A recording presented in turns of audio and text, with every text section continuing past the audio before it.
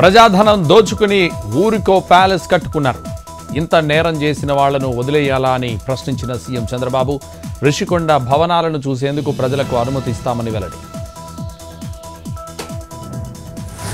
BJP పాలిత రాష్ట్రాలతో పోలిస్తే మా పాలనే మేలు. ప్రధాని మోడీ విమర్శలకు సీఎం రేవంత్ రియాక్షన్.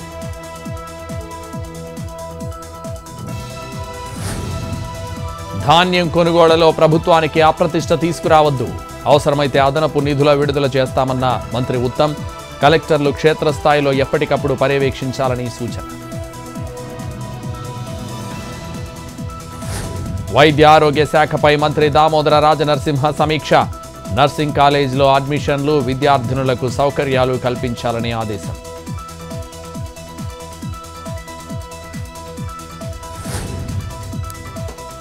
కార్తీక మాసంలో శైవ క్షేత్రాలకు ప్రత్యేక బస్సులు. అరుణాచలం పంచరామాలకు ప్యాకేజీలు ప్రకటించిన టీజీఆర్టీసీ.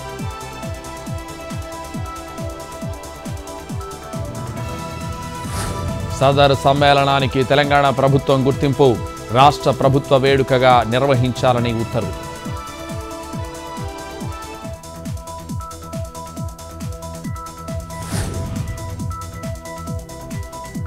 మెట్రో రెండో దశ పనులకు తెలంగాణ ప్రభుత్వం అనుమతి. ఐదు మార్గాల్లో ఇరవై నాలుగు వేల రెండు వందల అరవై తొమ్మిది కోట్ల అంచనాలకు ఆమోదం. ఢిల్లీలో కలుషిత నీటి సరఫరా జరుగుతోంది. నిరసన చేపట్టిన స్వాతి మాలివాల్ సొంత పార్టీ ఎంపీతో ఆప్కు తలనొప్పులు.